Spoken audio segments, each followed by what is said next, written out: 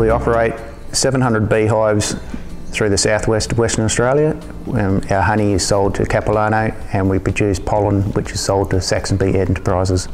We run a fairly robust biosecurity system through the barrier management system, which is uh, each bee box goes back on the same beehive every time. And we do that to minimise the spread of um, mainly American foul brood, but also helps with control of chalk brood as well. And we've been doing that uh, for 30 years and it definitely helps minimise the spread of any diseases. Each apiary we have has 112 beehives. They are on 28 pallets. So we number our pallets from 1 to 28 and the hives on each pallet is red, yellow, green and blue. And by doing that we um, can ensure that the boxes go back onto the same hive each time and we've, we've done it in that way to try and keep it as simple as possible so anybody can follow it.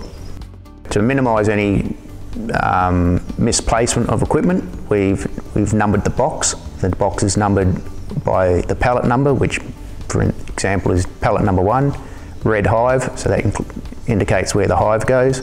So that, that super or bee box will go onto that hive all the time and also the frames inside those bee boxes, the outside frame and each super is numbered to indicate which super or hive it belongs to. With training it's on, on the job.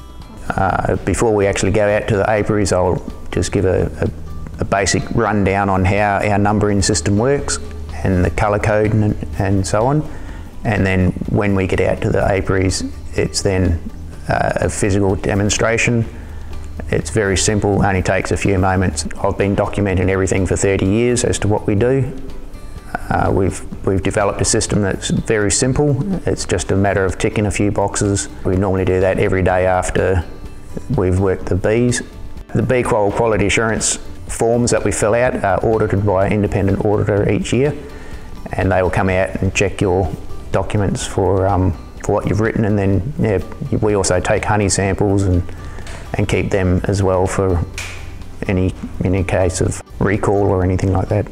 If we uh, do capture swarms, we will always put it into brand new equipment, so new box, new frames, and then we keep it separate for at least two rounds of brood just to monitor it and make sure that there's no um, infection with AFB in particular. Once we're happy with that, we'll actually requeen the swarm and then it'll be introduced to apiary. And that, because we run a barrier system, that swarm will be in that box forever, so you're not actually spreading any equipment. Um, and we found that that's quite successful. The barrier system does not stop you from getting any diseases, but it does stop you from spreading it.